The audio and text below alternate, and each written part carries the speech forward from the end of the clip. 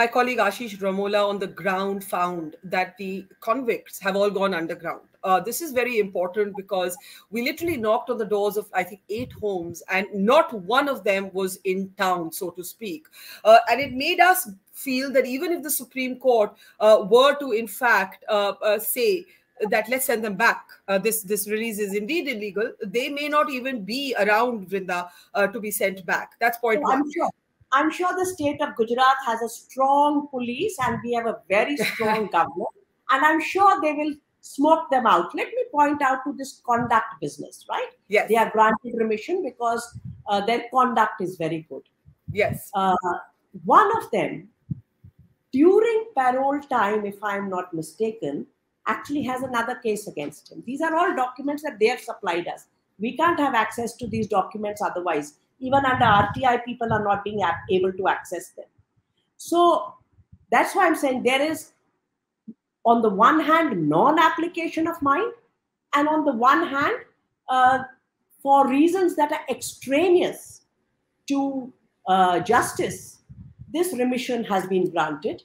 And in fact, one of convicts has another case of 354, which is outraging modesty of a woman, etc. Uh, he's an accused in one more case. So it's it's actually very interesting what they consider is good conduct. Mass murderer, uh, uh, gang rapes are released, and they also have other cases, and their own uh, nominal rolls actually do not display the good conduct that is being spoken of. And this, yeah. the central government has not expressed its opinion the central government, in fact, in one meeting, it's very interesting, in one of those meetings of the jail advisory committee, some person asked this question What is the status of the victim, survivor? Will she be all right once they are released? And the answer given is something to the effect that, oh, we will check out where she's living, etc. We think perhaps she's living in X place. Without that inquiry, that proceeding could have been adjourned, that uh, inquiry could have been completed, she could have been asked, will she be safe? Without that inquiry having been completed, although such a query is made at that meeting, the it is decided that they, this person needs to be uh, granted remission. One of the convicts, in fact, his remission is opposed by the SP and many others.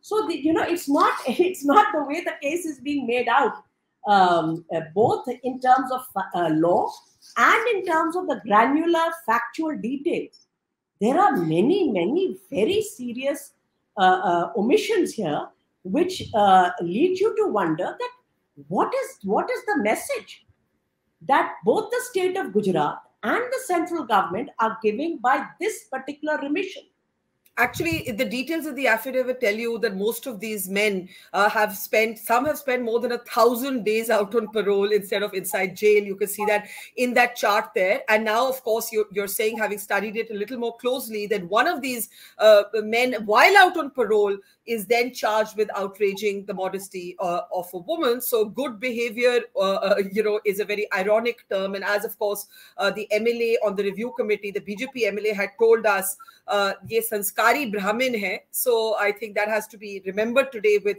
uh, with a lot of shock, horror, and irony.